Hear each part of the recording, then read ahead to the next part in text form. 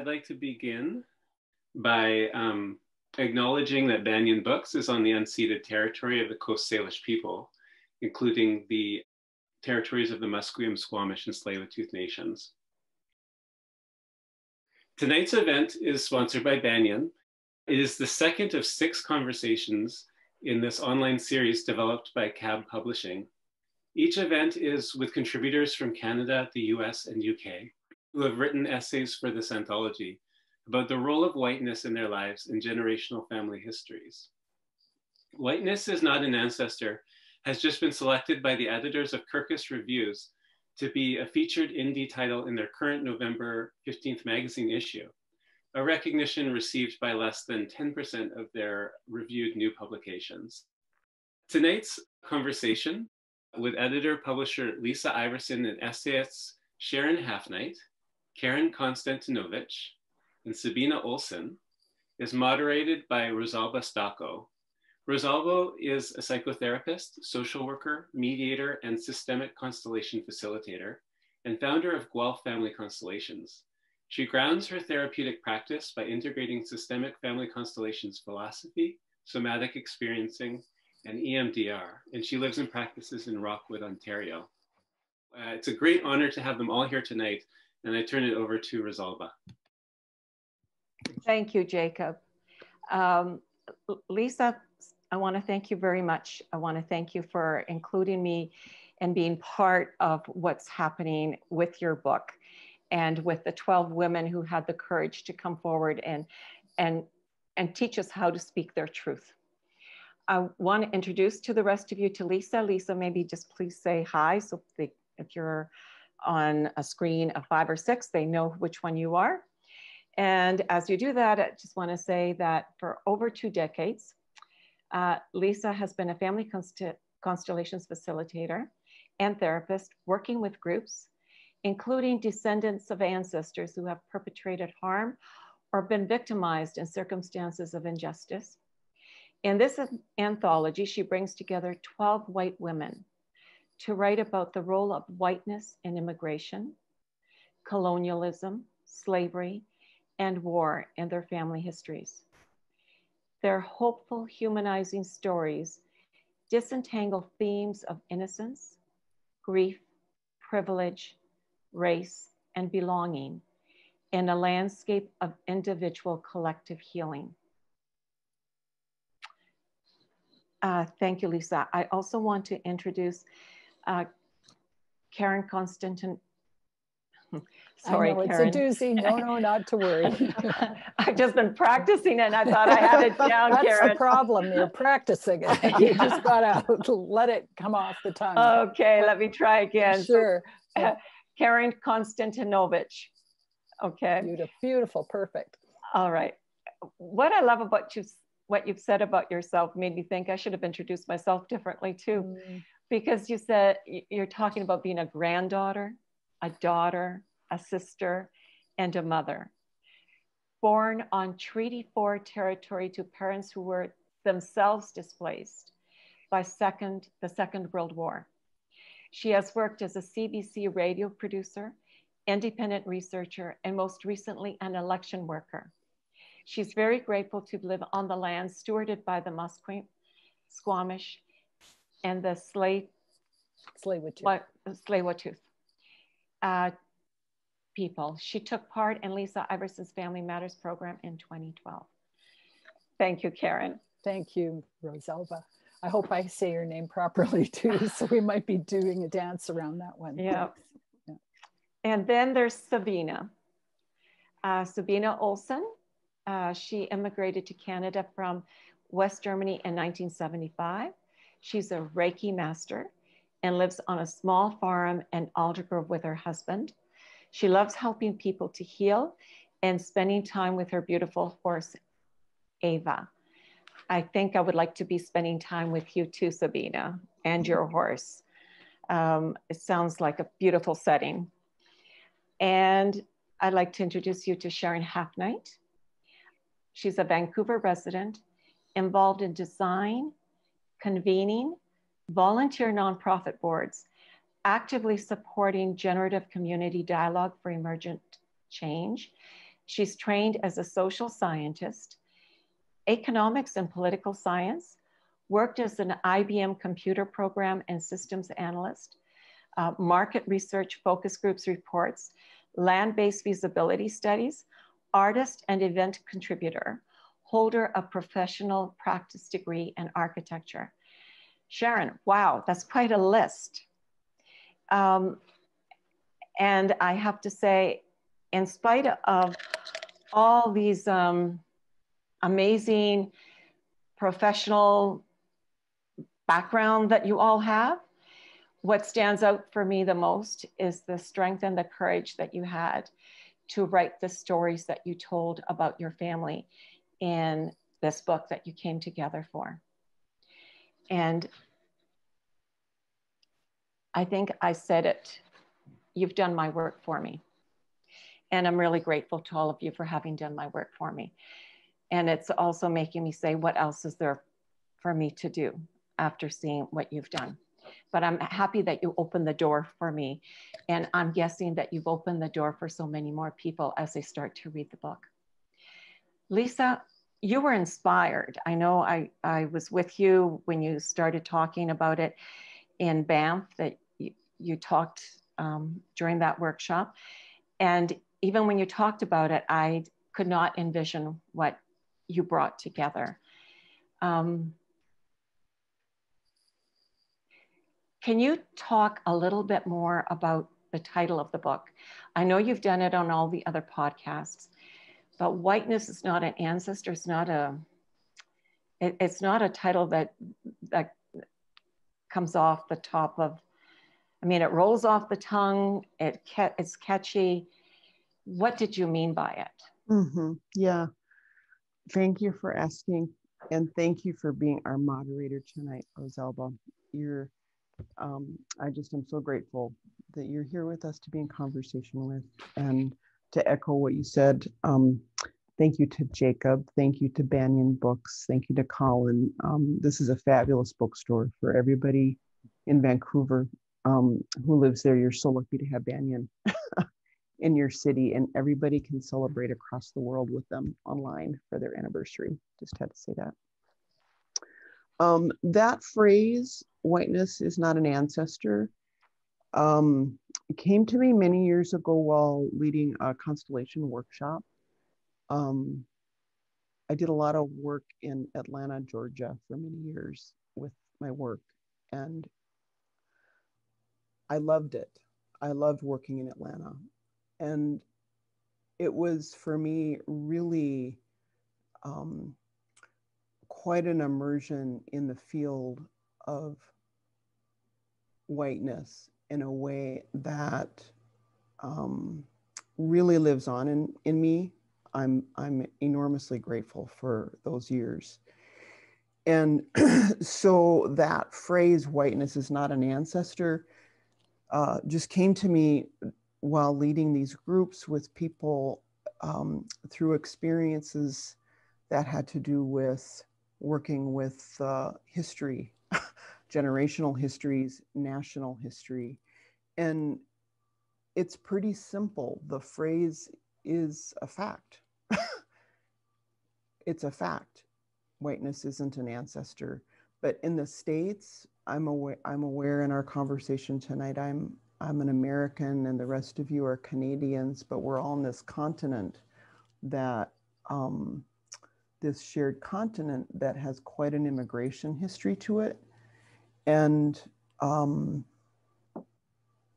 certainly 2020 has been a year where visibility of whiteness has, uh, it's come into visibility in a way that's necessary, really necessary. And so the phrase simply describes the fact that despite the enormous impact that whiteness has had and continues to have, it is not where life comes from.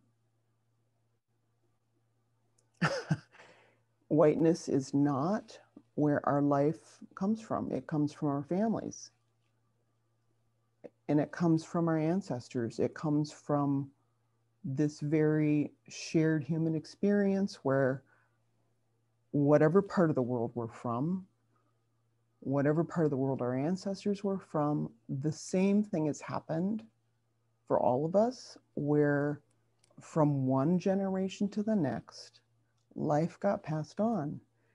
And here we are today. if we're listening here, if we're here for this experience tonight, listening to it, the recording, we're fortunate enough, it's a blessing that we're alive in this moment. And whiteness is an idea that has had, like I said, quite an enormous impact. Um, and so, this time we're living in, I see it to be a necessary thing that we get clear on what's what. because there's a certain element of um, like a ball of yarn, you know, where lots of different threads get kind of rolled up into the same ball. Um, that's part of what's necessary for us to do right now is to kind of separate all the different yarns to see what's what. And and uh, whiteness is a thread that is very separate from um, the larger, longer, original strand that has to do with life and family and ancestry. So, Lisa, why 12 white women? Not white men, white women. Well, um, there's a couple of reasons for that. One is um, in the work that I've done over the years, uh, that has included working with a lot of trauma histories. One of the things that happens in an experience of trauma, where there's somebody, there's an experience of uh, where trauma happens, where somebody or some peoples do something to another person, or another people's, where there's a taking of some kind. That's that's uh, way to, just, to describe colonialism, to describe slavery. It's one people taking something from another people. Well, in those histories, there's a lot of assumptions that I think are common ones that have that that we live with that that assume that men are always the perpetrators and women are always the victims in experiences of trauma. And in these larger collective experiences of trauma, it's not so simple. It's really just not so simple. The, ex- the experience of war, the experience of, of slavery, of colonialism, those histories, they're complicated.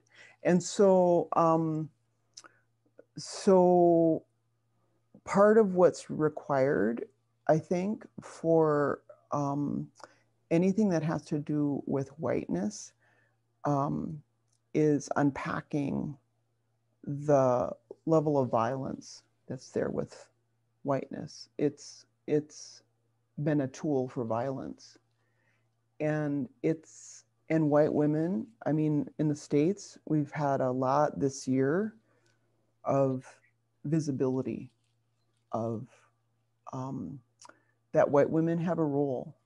What they have a, an important role to play in unpacking those histories and unpacking those assumptions.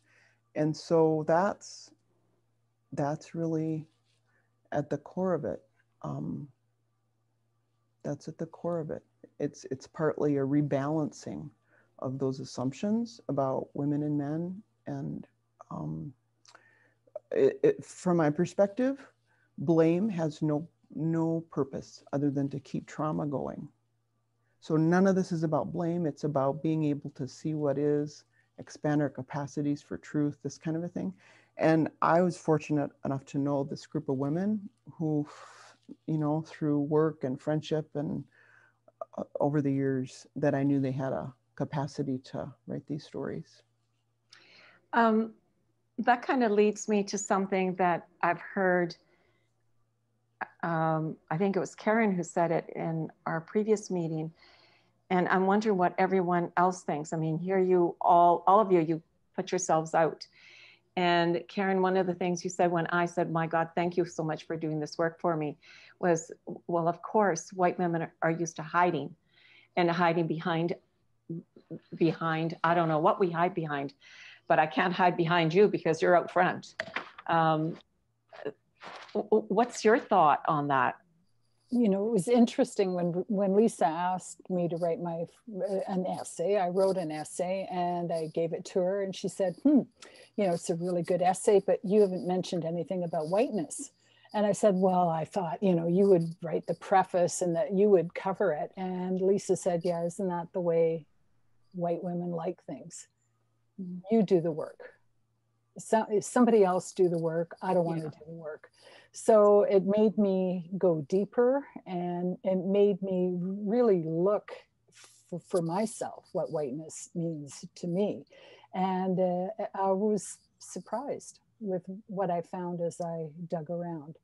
I was surprised that um, Lisa asked me point blank if I saw myself as a white woman, and I said no. And that was shocking. Yeah. Because I'm white, right? Yeah. But yeah. but I so identify with other, right? Yeah. And that's what whiteness does is it creates a gradation of experience, mm-hmm. you know. So so poor white people don't identify with white privilege right? You know, you hear the word bandied about. Well, I'm not privileged. I have to go to a food bank, or I'm not privileged. Uh, you know, I, you know, I don't have any education, and it's, um, it just creates more and more division, and it doesn't uh, open up to any kind of understanding. Um, I, I have to say, when you wrote that, I was thinking the same thing. I, am not, I didn't identify with as white, even though I know I am very white.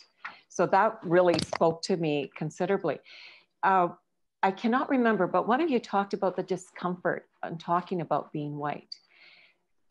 But I bet all of you were uncomfortable about talking about being white. Can you tell me about your experience around that, going into the essay, talking about it, saying, actually acknowledging, yes, I'm white and I'm privileged. I have, I have um, access to things that other people don't have just because of the color of my skin.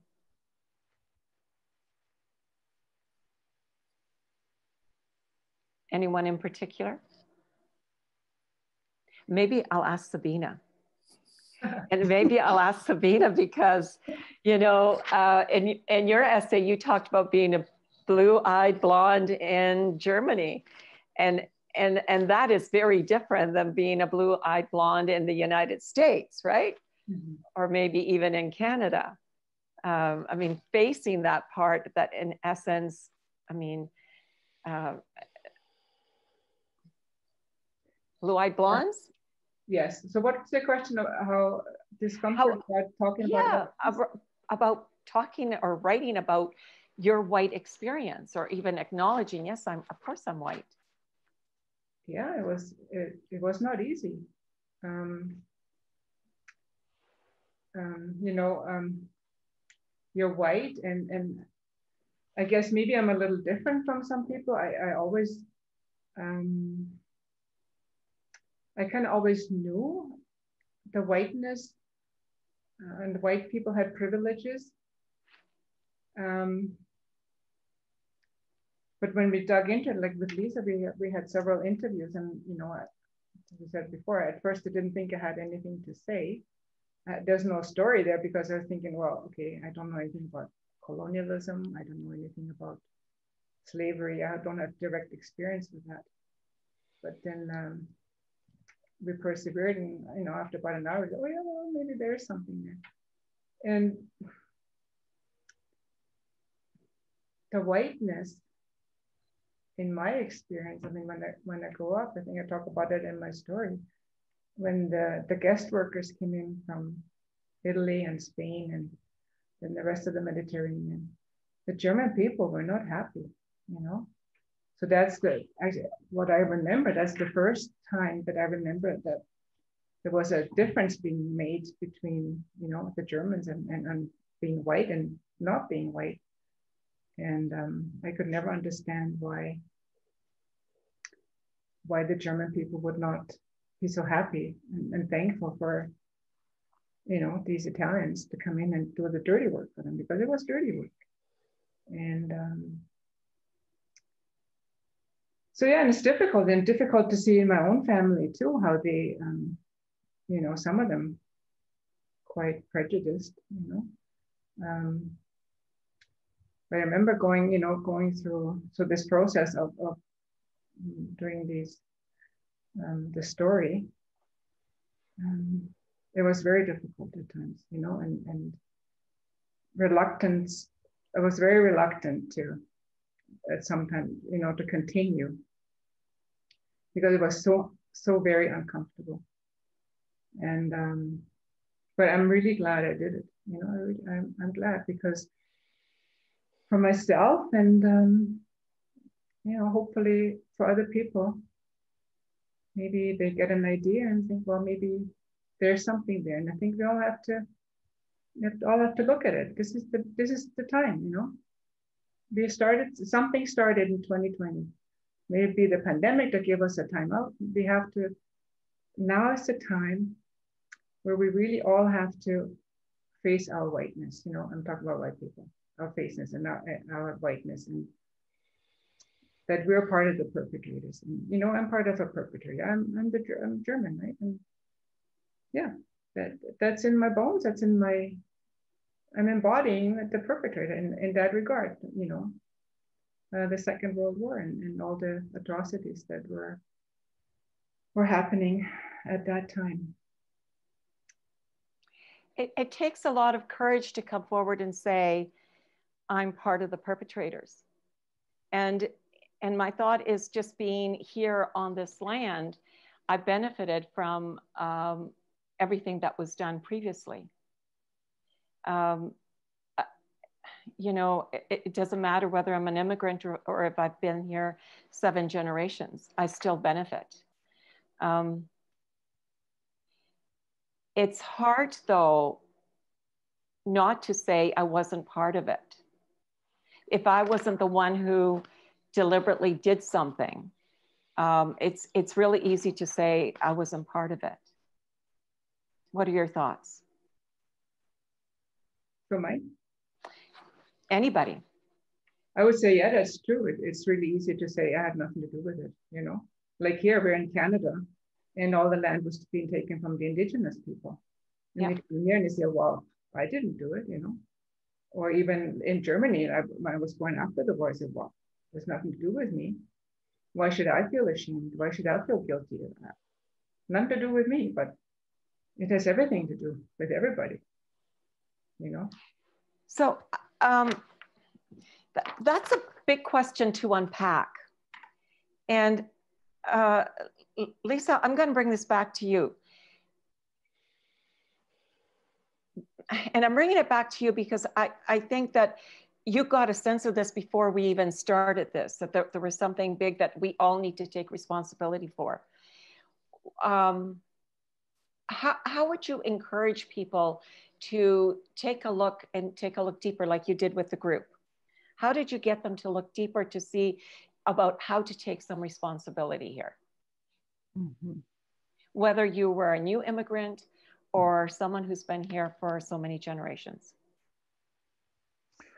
Well, I'm a big fan of, um, particularly after over 20 years of being steeped in family constellations, I'm a pretty big fan of acknowledging what is.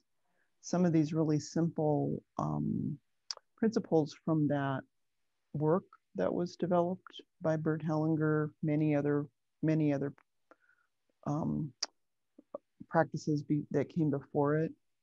Um, and so all I had to do was ask them.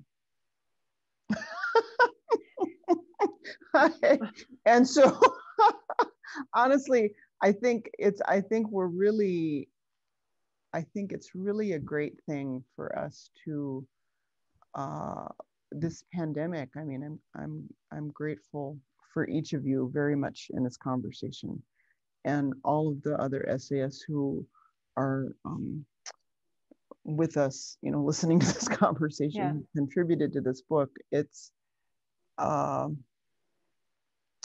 we tend to make things sometimes as humans more complicated than they need to be.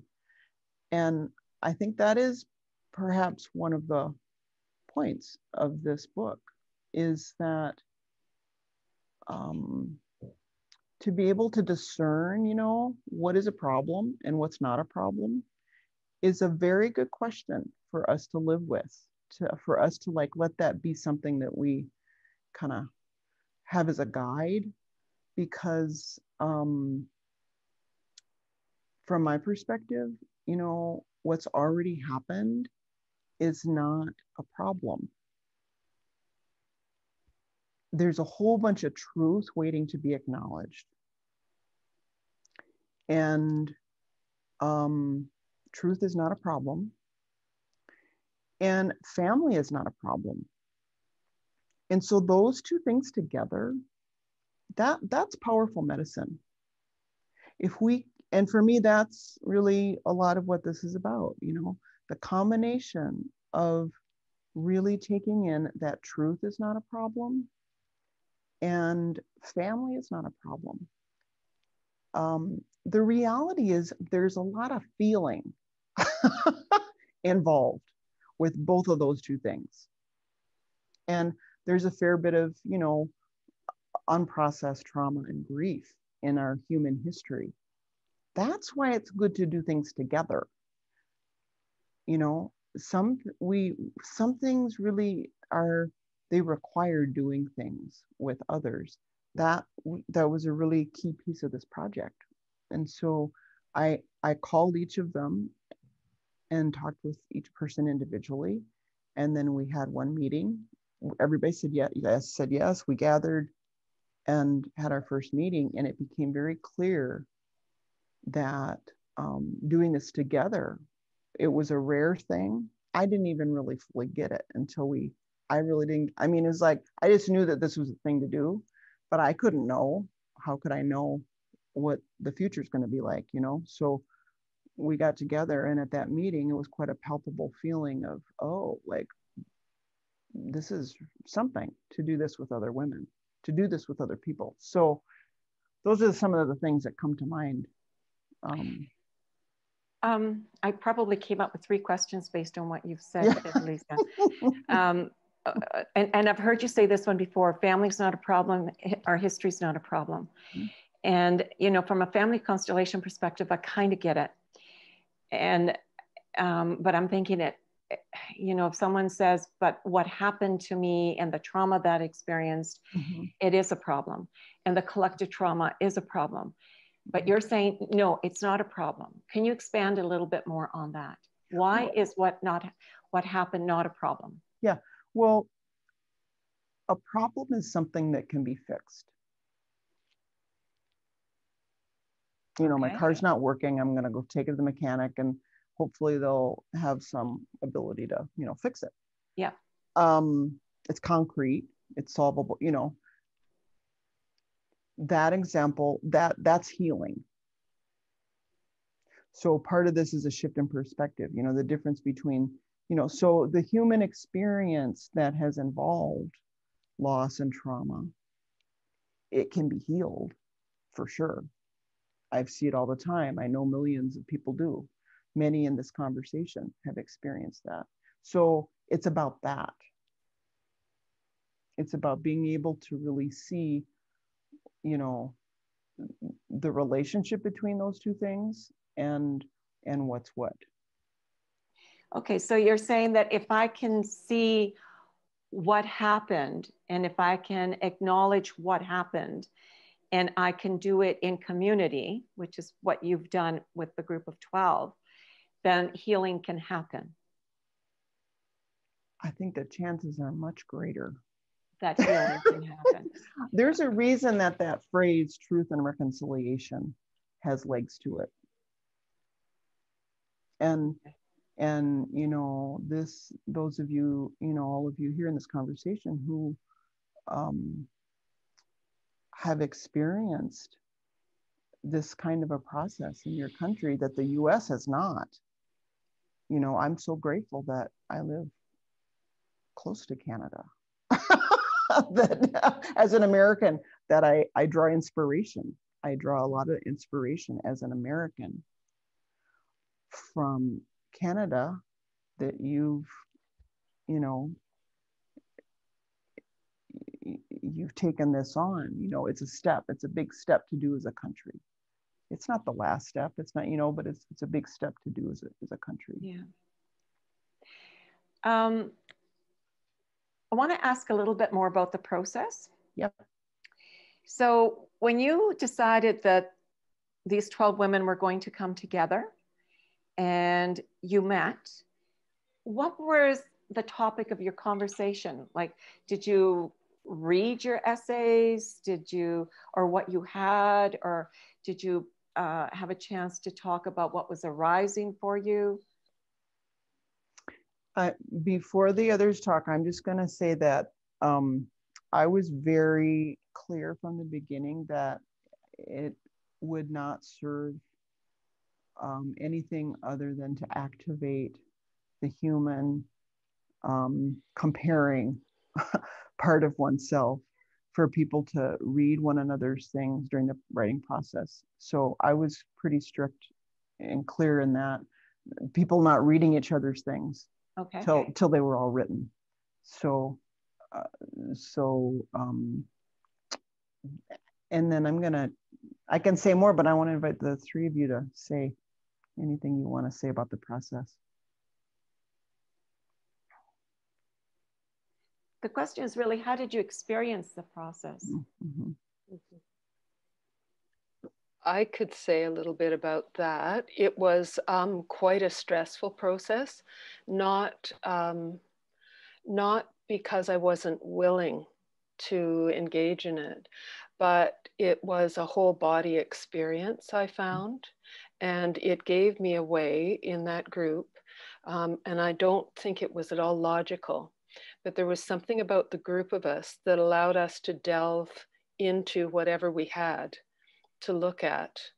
And more capacity seemed to evolve because of the the nature of the group itself. I would also say that um, constellation work allows you to develop some awareness, an embodied awareness of what's personal and what isn't.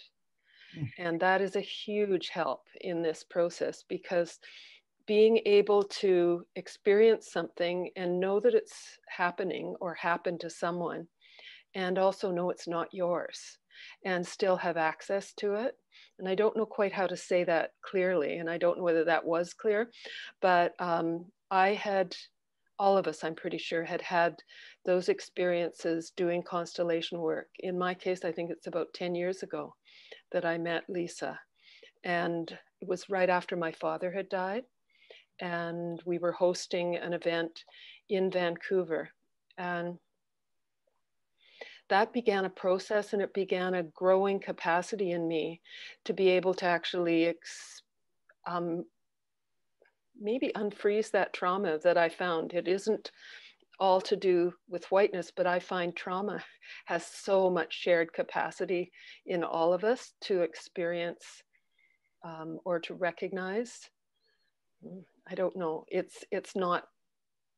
I, I think it's a human mm-hmm. reality, and so when a personal attachment to whatever's happened shifts, which mm-hmm. is helped by that constellation experience, somehow it's easier to be able to observe and witness what is mm. and not feel you have to be personally um,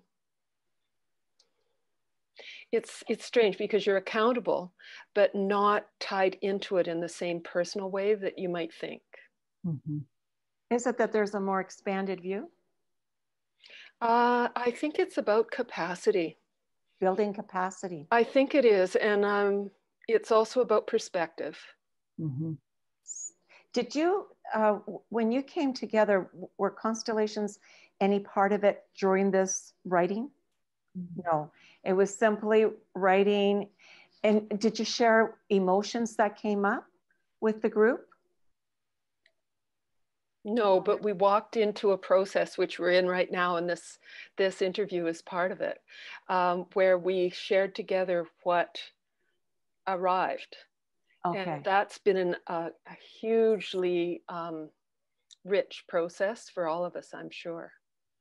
So then, let me ask, if I may, what arrived for each one of you as you went through this process? What, what are you willing to share with this group? or with whoever's listening. What shift, what, you know, something that arrived that made you do maybe a 180 or a 90 degree turn to what you were writing, or maybe even change the direction of what you were writing?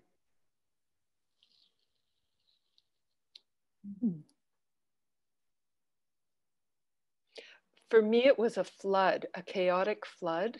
And I had to go through it to make sense of what I could share about whiteness. Mm. And Lisa and I had a um, an hour and a, a, couple of hour of conversation that we taped. And in that case, it took me a couple of days before I could listen to it again. And um, I had to encounter a personal pre birth trauma, which I write about in my story, to even be able to participate and write. Mm. I don't know whether that gives you a sense. Yeah. So, so yeah. personally, my capacity grew tremendously because I was actually able to do that. And that was something, mm. and I didn't do it with anybody holding my hand. I did it in the group and in the container that Lisa provided for us, which would, did not direct us. Okay. And Lisa, you know, when people talk about a container, how do you build that container for them?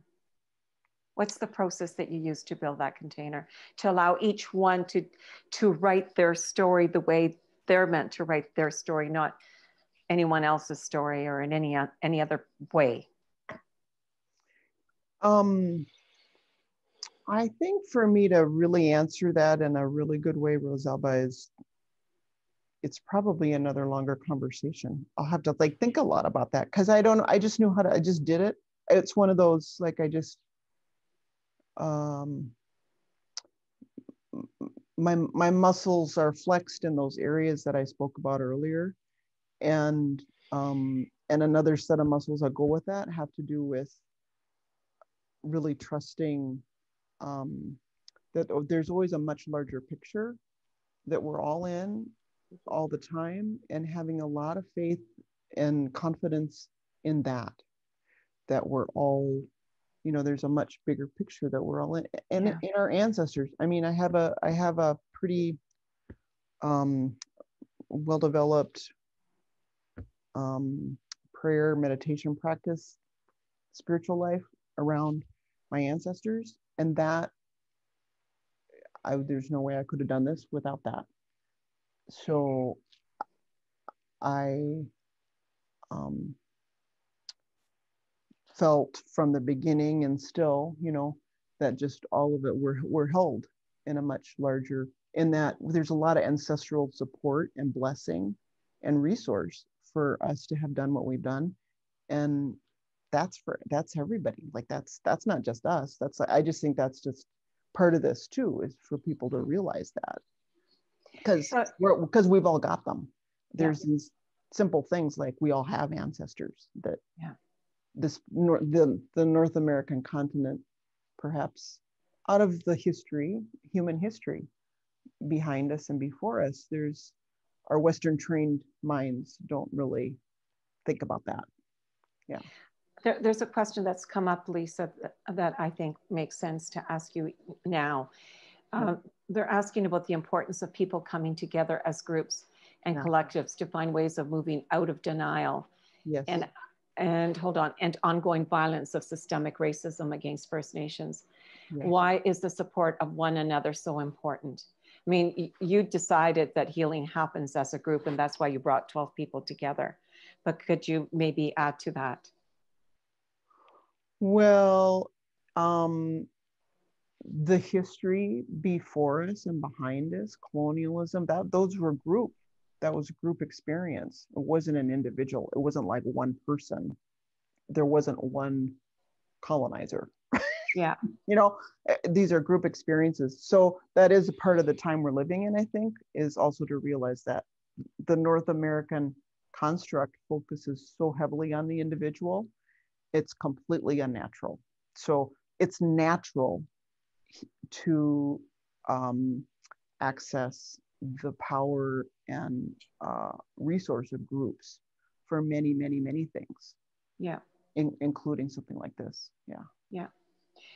And uh, I was just going to say, I don't think it has to be a tightly structured group either. I think it can be really informal structures. Mm-hmm. It can be mm-hmm. conversations that you have with your neighbors. Mm-hmm. When we're allowed to get out of our homes and visit more than one person, it, it, can be in in that context as well too. But I think, you know, it's it, you know, it's like Lisa's right. It, it was not this system wasn't created by one person. It was created by a collective. And the only way it's ever going to kind of get some resolution around it is collectively. And it really helps to know that you're not alone. Yeah. You know it it you know i think a lot of white people think uh, they don't have stories that they yeah. don't have you know that that there's nothing there but there is. And it's a big long history that we all come from. Yeah. And you know i mentioned this in our earlier conversation the arc of history is very long. We yes. have you know in my family alone you know both sides uh, were raised in areas that had three different countries you know in my mother's case she was um, born in the Austro-Hungarian Empire under the state of Galicia, then it turned over to Poland, then it became part of Ukraine.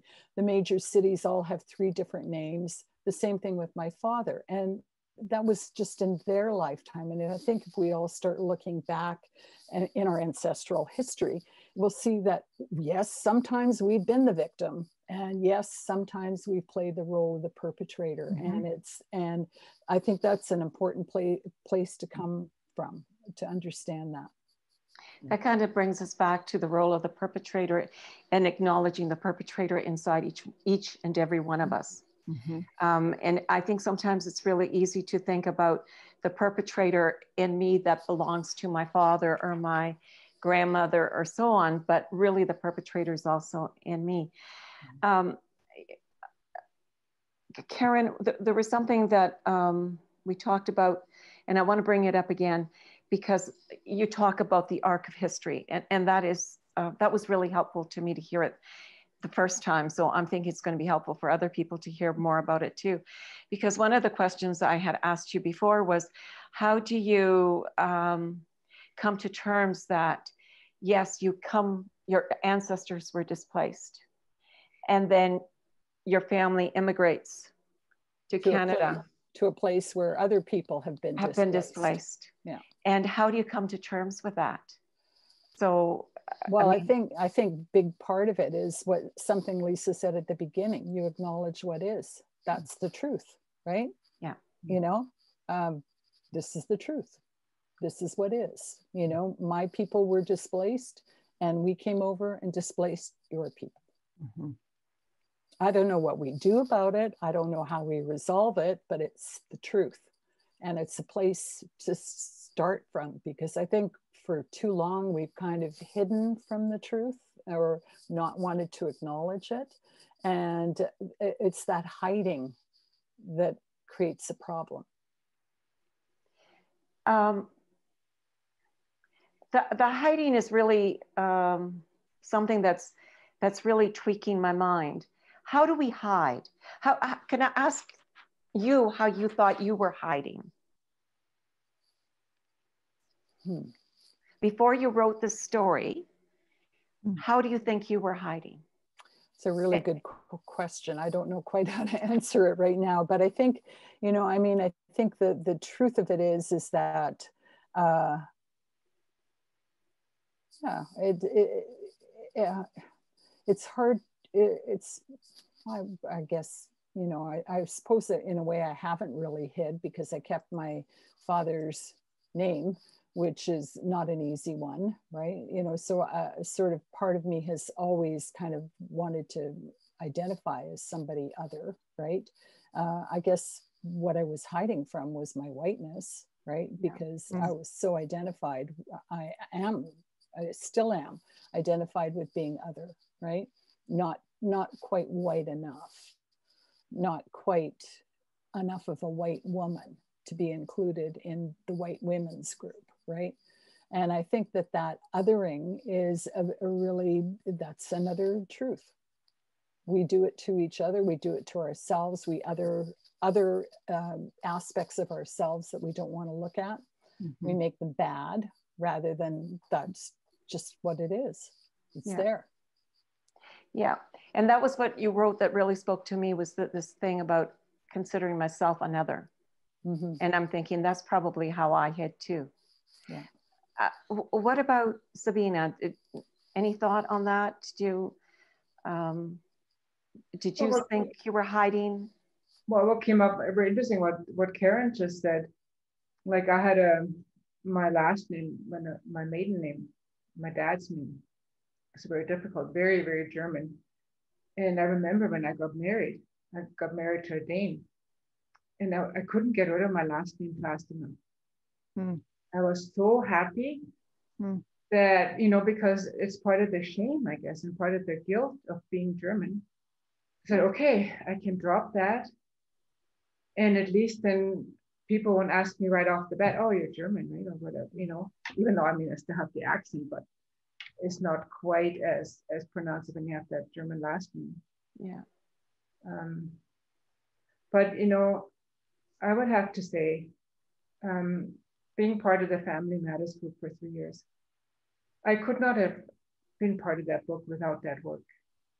You know, could not have done it because I guess Sharon said it so eloquently. Uh, it, it, just it takes the personal out of it, right? You you, you acknowledge the, the, the history and you acknowledge the family part in it, and then it's so much easier to say, yeah, okay, that's part of it, but it's not all of it, and um, I can still go on and um, and be German in my in my heart, and and I know the one thing that has really changed that because in told you before I was so feeling so shame, ashamed and guilty about being German. Um, with the with the constellation work, it allowed me to really embrace and be so totally happy about the German culture, the composers most of all, mm-hmm. and the poets and the authors, and, and embrace that richness that is there, and that came before, you know, before the the atrocities. And I have to more, I, I thought about it today again. Um, how is it fair for one country to have so many fantastic composers? so many fantastic poets. And, you know, I listened to this, this really lovely young Asian lady the other day playing a Beethoven piece. And wow, in their culture. She was actually probably from China, you know. So how she can interpret that when their music is so very, very different. Mm. Yeah. I marvel at it. It's just, it's so universal, right? And for that, I'm so tremendously grateful for that. You know, with that work, that I had to do the work and I did it gladly. And it's just so much better now. You know, it's just life. I can I can look at the history and I can say, well, okay, it well, it is what it is. We can't change it, you know? It seems like it's an acceptance of self. And it almost sounds like, I mean, you, you talked about shame. Um, and I know that Karin talked about shame in her book and her essay as well. Um, but it's almost like moving from this total discomfort to even apologizing for being white to acceptance of whatever it is that happened um, and just being accountable for moving forward. Mm-hmm. Am I reading that right? Or what am I missing here? No. Yeah. That's right. Mm-hmm. You accept it and um, it, it allows you to move on. It allows you, you know, I feel so much lighter. Like I must have walked around with a big bag of weights on my shoulder, you know, and always trying to hide, oh, yeah, I'm not really German, maybe I'm Swedish or whatever. But um, yeah, I can't, I can't say enough about it. You know, you do the work and you acknowledge what is. Um, it frees you up. It frees you up to live your life without all that baggage. You know, it, it doesn't mean I, I, don't get me wrong. I don't disregard it, and I, I feel terrible what happened. But um, on the other hand, you can't just live your life with that on your head all the time. You know, you have to you have to get over it and you have to do the work to get over it and acknowledge it to be able to move on. And like I said before, it's it's with me. And I'm very sad about it, what happened. Very, very sad. I'm, I'm you know, my heart's broken when I think what happened.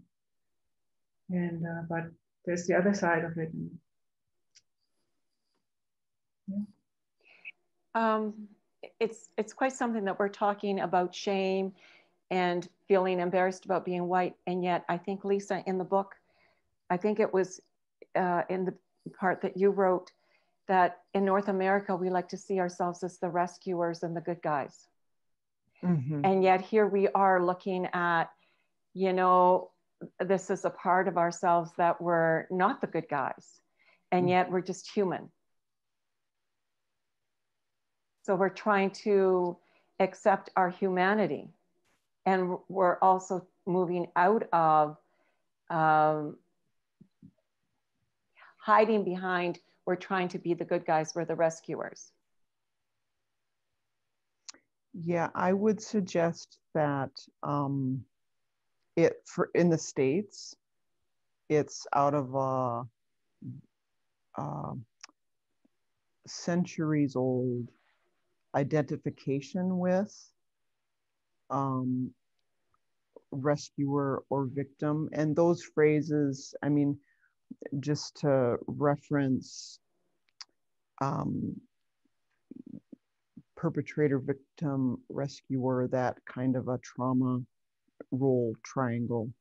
That's what we're referencing here. Yep. In the in the U.S., we've got a long-standing identification with rescuer or victim, but never perpetrator. That's how we got Donald Trump as our president. From my perspective, um, one of the one of the really important um, teaching from Bert Hellinger that I've appreciated has to do with the consequences of excluding someone or something from the landscape of what is in our families, in our generational histories, in our nation's histories. So in the States, I would suggest that um, Donald Trump has done a fabulous job representing our perpetrator in office. He's represented the colonizer, he's represented the enslaver in a way that we apparently have needed, you know, in, in, in our country. Um, what gets excluded gets represented is the concept. And yeah. so and so um, you know and it is a very very human landscape this everything that we're talking about all the the complexity of human history and all that's happened. It's easy to miss the fact that we're still here. Our species is still here with all that has happened with the the the amount of the long arc of history and wars and like everything it's like wow we're still here. Yeah. And so um yeah, and we, we have a tendency to think that that we're the first ones yeah, to experience right. this you know? There have been countless pandemics. Yeah. there have been many wars. There have been you know it goes way back. And you know it's I, I, think one of the things that i've found so helpful about doing the, the, this work is that you know your ancestors made it through right? Mm-hmm. somehow in spite of all the difficulties they made it. They made it. They they were able to pass life on. Yeah. And that's the source of strength was going to say, especially in reading yours, um, Karin, the European history is war upon war upon war. Mm-hmm. It doesn't matter which neck of the woods that you go to. It's it's about one kingdom uh, conquering another kingdom. It doesn't matter where you come from. I, I have a couple of questions here that have come up, and our time is going to be limited. So I, I, really want to ask them because one is about constellation work. And I know, Lisa, you're the uh, family constellation uh, facilitator, but all of you have that experience. So mm-hmm. maybe we can start with you and others can add to it. How can family constellation work help transform racism in society? Does it only work family by family, or can it be done for larger groups on a societal level? Um, I would say yes to all. What I would su- what I would suggest though is that um, our larger society is with us in every single constellation experience.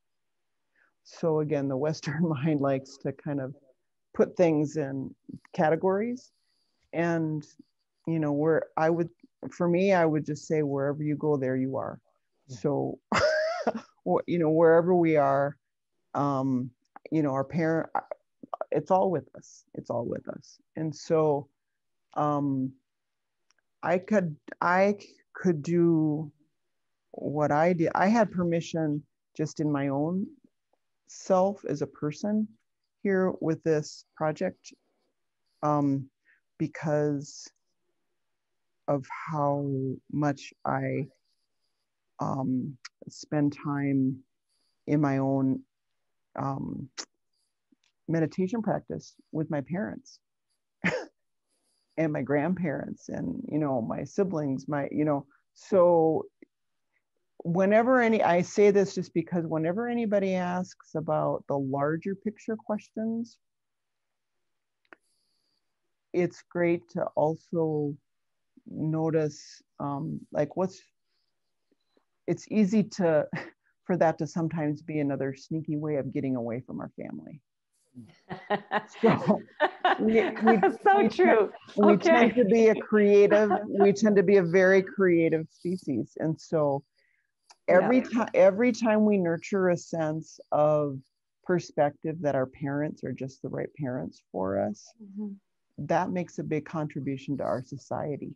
And the way to test that is imagine if everybody did that. Yeah. You know, it would have quite an effect. Mm-hmm. So.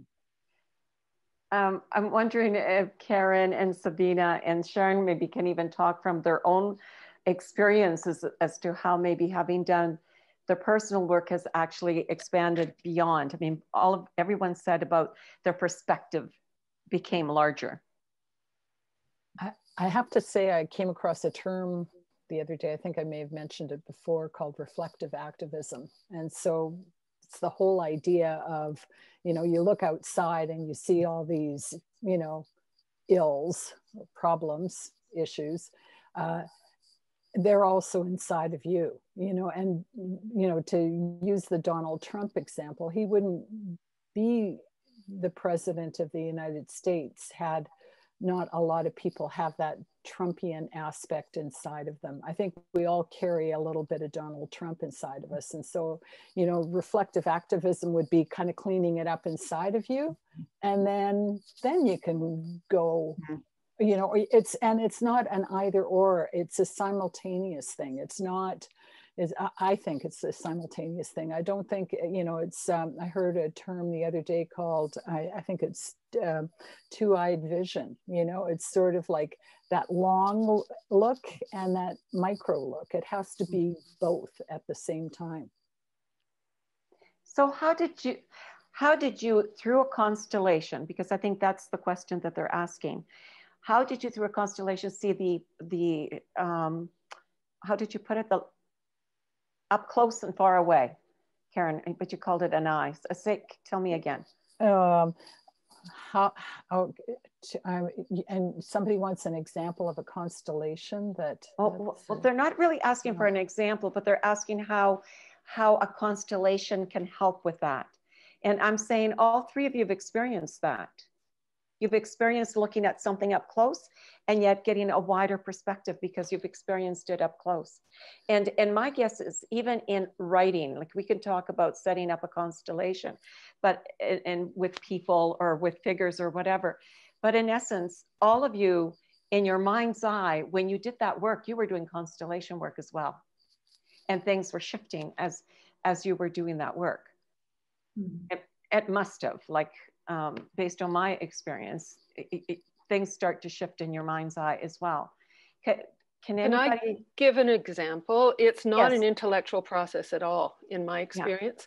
Yeah. And that's the beauty of it because you're accessing something other than your mind and, and yes. there's a wisdom in it. I'm remembering standing on Whidbey Island in a constellation circle and we were working on one of our family histories and we were representing and in, in that case I was given the privilege of representing um, uh, a black slave and there were a whole row of us standing there um, and I remembered just having a very strong sense of knowing as that representative that all I wanted the um, the owner in that situation who was struggling to try and understand what was going on. It was just not initially in capacity at all to understand it. To be able to just recognize what is and then come to their full self and start to deal with it rather than hide from it or I mean, and that's me adding the hide from it from this conversation that wasn't in my mind at all. It was mostly wanting, as that representative, to just have the full humanness come forward and then deal with the situation and make it um, make it humanly equitable, like so that that person didn't feel inside like a slave. They knew their value as a human. Um, and they were in a situation that was quite intolerable. And having the other person who did appear to have the power and the perpet be the perpetrator in that situation do their own work enough that they could stand up and become more human and help to right the situation was what was wanted i don't know whether that's helpful but it seems to me that that begins to bring the experience you can have which was not personal to me in any way, it taught me something. And I, yeah. I, well, okay, maybe I get it because I understand the work. Um, so yes, so when you were standing and you were in the place of a, of a slave, you One, had seven or eight in a row. Yeah, you had a certain experience and you had an understanding of what it was like. Now, people who don't understand constellation work don't necessarily understand that you, when you stand in that place, you you pretty well start to embody and feel what you are representing. Mm-hmm. Okay. And then the person who's the slaveholder is also getting or representing the slaveholder is also feeling and experiencing something. And that helps him have a better understanding of what that person was feeling at the time. If they're willing to if they if have the capacity to go there but okay. there there's just an opportunity in that to see a broader picture and I don't know. I, I, I find this conversation challenging because it's hard to hold the nuances that arise. Yeah. And if I can't put them into words, I can't share them.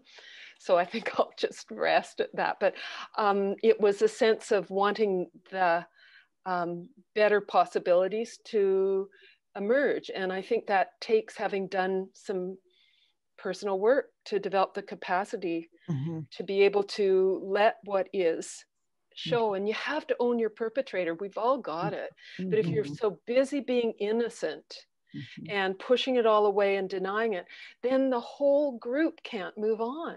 Mm-hmm. And that's the that's why reconciliation and truth go together because more mm-hmm. possibilities emerge for everybody because we're connected if you can do your own work and knowing your family story gives you a way to stand in mm-hmm. what's real for you and that's huge help okay mm-hmm. so when you're talking about doing your own work my sense is all three, all four of you have done a fair bit of your own work outside of of um, and Sharon. I know you talk about it in in in your essay as well. Outside of doing of writing this essay, what kind of other anti-oppressive work have you done, or have you tapped into? Are you asking me? Uh, all of you. But I, I, think I'll start with you, Sharon, simply because I know you already wrote about it in your cards, oh, sorry, in your essay. And I really would like you to talk about those cards because oh, they, right. they those sound cards. like one. Yeah. I went and got my deck so that I had it here. Okay. Um, this is a group that um, has ongoing exploration of decolonializing. What, what could a decolonial future be? So it's named Gesturing Towards Decolonial Futures. And um, I was involved in a cradle project where we built cradles for um, babies um, who had not made it into life from the first, from their experience in hospitals of um, just not coming through the birth process. And there were an astounding number of them who were buried at a, a Vancouver cemetery and needed to be, um, or want the, the cemetery wanted to help um, create a memorial so that people had a way of, of recognizing their loss and grieving. Um, in that process of making the cradles, I was gifted by an opportunity. The whole group of us worked on these cradles, and then we also drew cards from this deck. And it's called, um, I wonder if you can see it, Without Modernity. Mm-hmm. Without modernity, and there are questions in it, and I speak some of them. Some of them are hardish questions, some of them are long haul questions. Some of them are what would it be like without modernity, the way we have it. Some of them are just random invitations. So it, it, it was already work, as you say, work done by others that was shared. And it gave us a chance to talk and share individual experiences. They were very different, but we ended up speaking about baby losses in our families. We mm-hmm. ended up speaking about what it was like to leave a home country and have family there. There were a number of younger ones in our group who'd come, some from South America, um, some one from Africa, some from Europe. It was a, a wonderfully rich mixed um, group, so the stories were amazing. And in that process, the sharing again gave an opportunity for something larger to show itself to all of us. I think that says it enough. Mm-hmm. Says it. Um, Sabine, Karin, is there something that you can add to that? Like, I know you all have done, you couldn't be here unless you've done other work in other communities looking at this issue. I honestly think that const the constellation format for me uh, was really um, just a very good experience in terms of understanding our human history and our, our shared human experiences, like Sharon raised, baby losses, deaths, yeah. immigration, all, all of those things, uh, you know, really come alive for me in a constellation circle but it also comes alive for me you know in in really good literature you know and in reading about history and in um, you know having conversations with people and you know just trying to connect in all the ways that we try to connect with people in our day-to-day lives. The question that has come up um, is really about how does once you acknowledge what is Mm-hmm. How do you move forward? Mm-hmm. And how do you move forward with that knowledge and with the idea of being able to do something different? Mm-hmm. I I think that's a great question, and um, it, it makes me think to say what I was thinking earlier, which is that we don't we typically in our in our Western culture don't we don't see that acknowledging what is that acknowledging truth that these are not passive things it takes a lot of present it's a it's a powerful combination actually of presence and action to be able to acknowledge truth in a grounded and embodied way. That those are actions. And so the what comes after that, I have a feel I have a lot of feeling of trust about, well, we'll figure that out.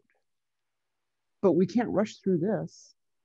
No. We cannot rush through this. Mhm. There's been for me when I was writing the um, ancestral blueprints book, it became and I just steeped myself in a, a lot more of you know self learning around American history and like how did we get here, etc.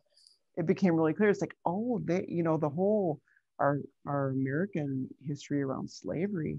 They they like they tried to stop. There were there were there was a group of people. There were many efforts early on to try to stop slavery and they're like you know well you know how are we going to keep going as a country without it so we'll just pass it on to the next generation and they'll figure it out well the clock is up on that like you know really like this is the time no the it's like the alarm clock has gone on and that's a good thing. For me i would say that mm, that must mean that we're equipped we're resourced. The, ta- the a task that arises arises when there's enough resource there there's resource to be able to meet the task. I, I believe that to be true. I sense that to be true. I, I think the other part though with acknowledging what is is then also accepting the consequence. yes So if I can go with yeah and accepting the guilt. Um, who- Yeah. was that you, Sharon? Accepting the guilt. yes of course And bo- both go hand in hand Yes. and and carrying the burden of the guilt. yes it's strengthening it's absolutely strengthening we need it for god's sakes you know there's a in the american soul there's a big old collective shame pit in our american soul that there is a collapse it, it's a collapsing effect our uh, uh, economic debt as a country combined with how much money we have put into our military defense that's not a surprise I mean, let's think about what that represents. Yeah. The debt, the debt in the soul and our the amount of energy we spend trying to defend ourselves from what is. That's not And that's not going to move us forward in a good way. there's a denial in what is, Of course, of course. right? So that's why again, it's like these group of women have demonstrated with what each of you have written about what's possible, accessing, you know, the simple human thing that has to do with being a descendant, being a daughter, being a son, claiming who and where we come from. There's a strength, there's an irreplaceable strength that comes from connecting um, with our ancestors. And um, it, it, it equips us to then, you know, face the things that are difficult. It's totally doable. It's paradoxical Yeah. because if Hmm. if my saying um I, I guess i'm thinking there's there was one story it's it, it, sonia's story about the, her grandmother um Yes. connected to the lynching of Yes. a black man Yes. just coming out and saying yeah Yes. it's true that happened Yes. uh, on one hand it's accepting what is that happened Yes. and and also coming clean it's almost um oh i hate to say this but almost like um confessing to the world th- this is me this is authentically me and i'm and i'm willing to take responsibility for this now Well, we do it together. Yeah.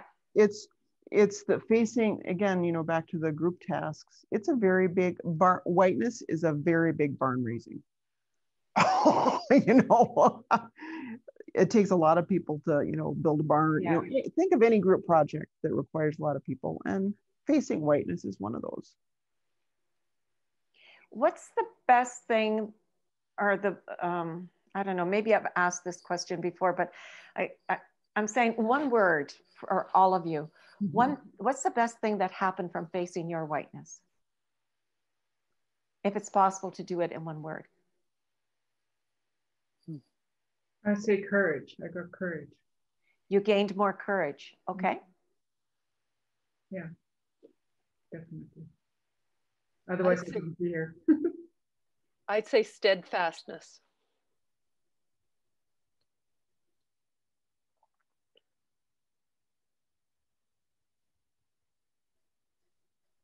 I'm drawing a blank right now, you know, and I and I think uh, I just take to heart what Lisa said that sometimes these things take time, right?